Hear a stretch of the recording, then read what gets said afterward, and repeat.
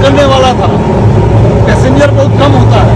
अभी life fast हो गया ना, इसीलिए इसमें क्या है कि आदमी इंजॉय करने के लिए, घूमने फिरने के लिए आता है। तो फिर हाई कोर्ट से केस किया तो हाई कोर्ट स्टे ऑर्डर निकाला है तो अभी चल रहा है। नहीं तो ये बंद होने वाला था, काम।